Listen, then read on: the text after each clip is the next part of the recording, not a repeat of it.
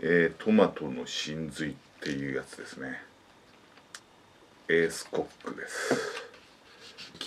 これは液体スープ。これを後で入れる。はい。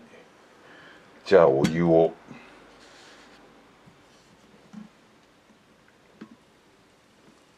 はいこんなもんですね。はい。さて。できたぞ。ほらほらほら。トマトっぽい匂いがするね。確かに。これ入れるんだね。なんだろうこれは。ピッツァソースみたいなやつですね。違うか。味見してみりゃわかるな。一体何でやろうこれは。これ。ねえ。うん。うん。なんかピザのソースみたい。これを混ぜる。あでかい肉が入ってるね。豚肉？はい。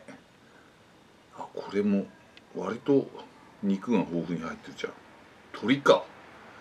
鶏鶏コクトマトって書いてあるの。鶏だろうな。トマトの真髄。鶏コクトマト味。ラーメンで。ございます。うん。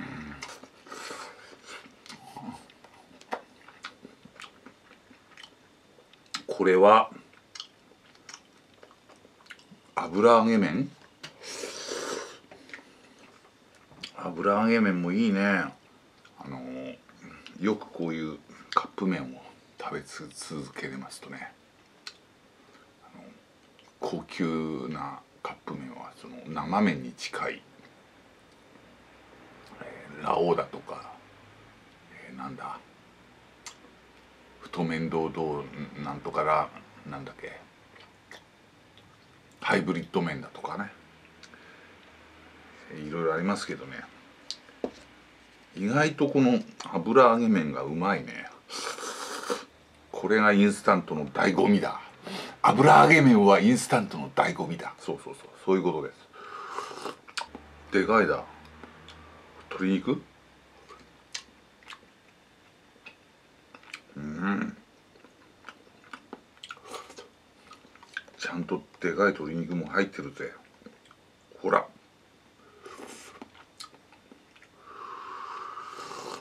このこの麺がねやめようやっぱ。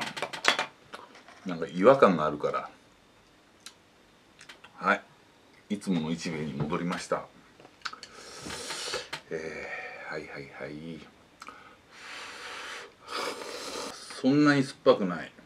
ちょっととろみのあるスープですね。こういう色です。こういう色。